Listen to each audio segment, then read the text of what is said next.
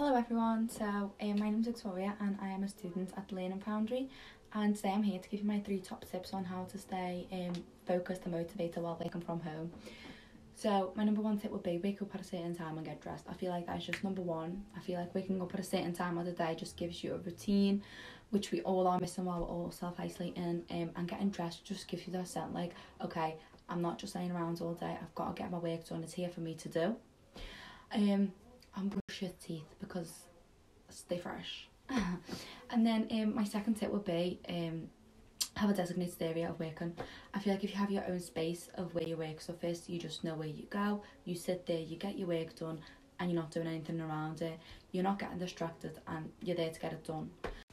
And my third tip would be staying healthy. I feel like staying healthy throughout this isolation is just really important. Like eating healthy, drinking healthy, and just try to do as much exercise as you can. It's just really good for your mental health and just for your health overall. So yeah, I hope everyone stays safe and stays isolated, and obviously for the best of all of us. And I just want to say a big thank you to Stuart and Chelsea for always keeping up with us and obviously still putting that 110% in to try and get us guys to do our work in the Learning Foundry. So, yeah,